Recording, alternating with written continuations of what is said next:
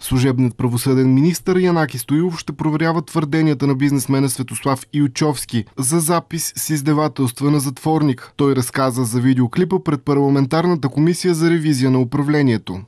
Един от известните бизнесмени, който не иска в момента да унижава всеки човек, има чест и достоинство, къде са му служили двама да го издевателстват в него в затвор, в килиите и надзирател и го снима. Какво означава издевателство?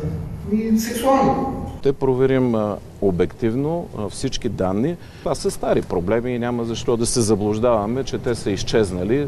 Но обръщам внимание, че трябва да се посочват места, приблизителен срок и някакъв потенциален кръг лица, за да може наистина ефективно да се провери.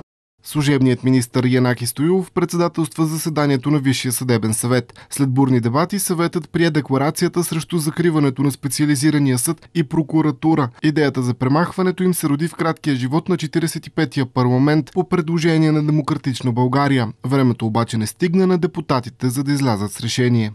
Няма кой друг да застане пред обществото и да каже, че трябва да защитават органите на съдебната власт и трябва да се запази тяхната независимост. Това е именно Висшия съдебен съвет. Против декларацията гласуваха председателят на Върховния касационен съд Лозан Панов и членовете на Висшия съдебен съвет Олга Кирилска и Атанаска Дишева. Очакване е поведението на тези колеги. Те по принцип винаги са имали такава позиция по въпроси, които а, са важни и които, как да ви кажа честно, се разминават с политическите виждания на някои политически сили. Въпреки това, съдийската и прокурорската колегия ще трябва да направят анализ на резултатите на специализираните звена.